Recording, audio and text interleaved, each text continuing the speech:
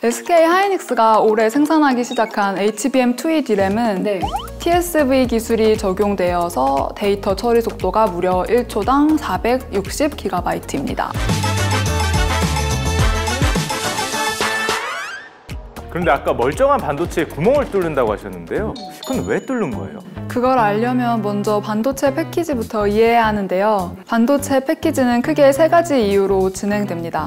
보호, 연결, 열 방출. 연결 과정은 반도체와 시스템 사이를 전기 기계적으로 연결하는 과정이에요. 전원을 공급하고 전기 신호를 송수신하는 통로를 만드는 역할을 하는 과정입니다. 보호 과정은 반도체를 특수 물질로 감싸 외부의 전기적 물리적 충격으로부터 반도체를 보호하는 과정입니다. 열 방출 과정은 반도체 내부의 열이 밖으로 원활히 빠져나갈 수 있도록 하는 과정입니다. 네. 여기까지는 문제 없이 이해가 잘 되거든요. 좀 더 자세히 살펴볼게요. 네. 패키지가 이루어지는 과정은 8단계로 설명할 수 있는데요. 1단계는 back grind라고 합니다. 웨이퍼를 뒤집어서 제품 스펙 두께에 맞게 웨이퍼 뒷면 두께를 갈아내는 공정입니다. 어, 왜 얇게 만드는 거죠? 어, 완제품 스펙이 정해져 있고 최근 제품들이 계속 소형화되고 있어서 얇게 만들고 있습니다. 2단계는 wafer saw. 웨이퍼를 낱개의 칩으로 분리해주는 공정입니다. 근데 이제까지 웨이퍼가 원래 잘려져 있는 줄 알았는데 또 어. 그게 아닌가 봐요. 네, 그렇습니다. 하나의 웨이퍼 위에서 여러 개의 칩들을 동시에 작업하고 그 다음에 분리해 주는 거죠. 잠시만요. 왜요? 제가 알기에 웨이퍼는 동그란데 네. 사각형의 칩들을 분리하고 나면 음. 그 가장자리에 남는 공간들이 생기는 거 아닌가요? 식빵 둘레처럼. 네, 예리하시네요. 그래서 SK 하이닉스는 더 작게 칩들을 만들어서 최대한 버리는 공간이 없도록 초미세 공정 기술을 개발해 나가고 있습니다. 예를 들어 기존의 웨이퍼 한 장에 1500 die를 생산했다면 지금은 2000 die? 뭐 이렇게 소형화시키는 거죠. Die요? 앞서 얘기한 낱개의 반도체 칩을 die라고 합니다. 하나의 웨이퍼에 수천 개의 칩, 즉 수천 개의 die가 있습니다. 초미세 공정 기술 개발과 또 생산 효율성까지 둘 다 가져가겠다는 생각이십니다. 그니까요. 네, 두 가지 다 놓칠 수 없겠죠? 이제 웨이퍼가 분리되면 3단계는 die attach 공정이 진행되는데요. 낱개의 칩을 떼어내 기판 위에 붙이는 공정입니다. 4단계는 wire bonding 공정인데요. 칩과 기판을 금속 배선으로 연결하는 공정을 이야기합니다. 최근에는 이것 대신에 flip chip bonding 방식을 사용하기도 합니다. Flip이면 그럼 뭔가 이렇게 뒤집는 건가요? 휙휙? 네, 맞습니다.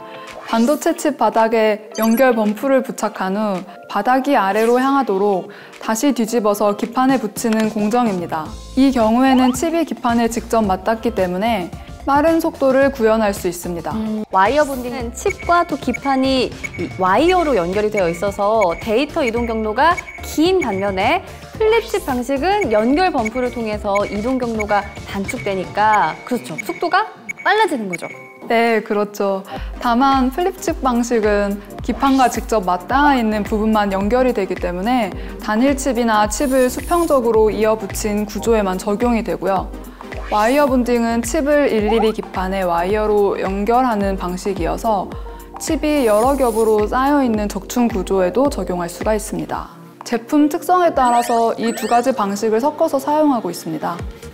5단계는 몰드고요. 열, 습기, 충격 등으로부터 반도체를 보호하기 위해서 칩을 특수 물질로 감싸는 공정입니다. 6단계는 마킹, 제품 일련 번호 등을 레이저를 이용해서 패키지 표면에 새기는 공정입니다. 7단계는 solder ball mount인데요. 마킹이 완료된 반도체 기판 뒷면에 볼을 부착하는 공정입니다. 이 볼을 통해서 반도체를 전자기기 내부의 PCB 보드에 연결시킬 수 있는 거죠. 그리고 마지막 8단계는 saw singulation 공정인데요. 볼 부착까지 완료된 반도체 기판을 낱개의 칩으로 절단하고 분리시키는 공정입니다.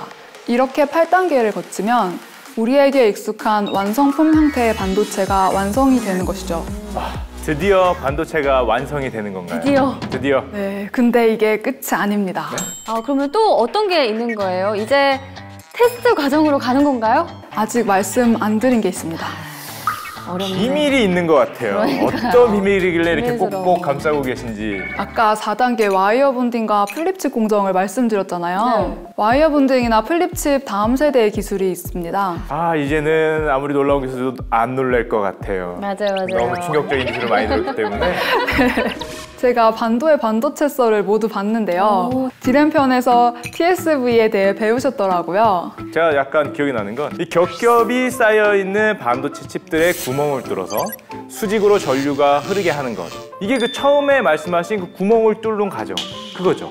네, 기억하고 계시네요.